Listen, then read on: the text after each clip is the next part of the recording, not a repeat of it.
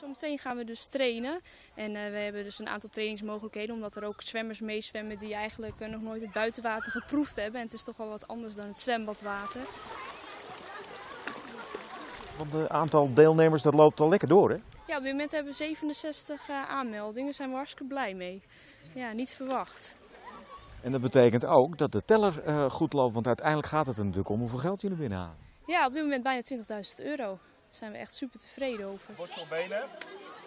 Probeer rechte benen te houden. Eh. Van die 20.000 euro wordt bijna 6.000 bij elkaar gezwommen door Jordi Vlaming. Zijn hoge sponsorbijdrage heeft in Lazen nogal droevige aanleiding. Het, het komt ook omdat ik kanker heb. Ik heb een uh, wekendelensarcoom. Dat is een niet hele, uh, heel veel voorkomende soort van kanker. Wat in de, in de bindweefsels uh, zit. En het, bij mij komt het in mijn rechterbovenbeen. En dus ja, dat betekent dat ik gewoon op dit moment kanker heb. De donaties die tot dusver zijn binnengekomen zijn natuurlijk ook gewoon van mensen die heel hard meeleven.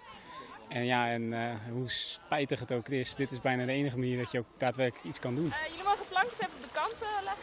Wat betekent het voor jezelf om hier aan mee te doen? Het is ook voor mijzelf een, uh, een manier om iets ja, het te bevechten. Het, het, ja, je kan eigenlijk als, als patiënt bijna niks anders doen dan het te doorgaan. Het, het traject te beleven en nou ja, de artsen de beslissingen te laten maken. En op deze manier kan je toch zelf ook een steentje bijdragen. En hopelijk dan toch, toch geld op, opleveren. En dan dat, dat er maar toch maar sneller een, een echt medicijn gaat komen. Maar ja, die niet. Kan niet deze training mee, maar die zwemt heel veel.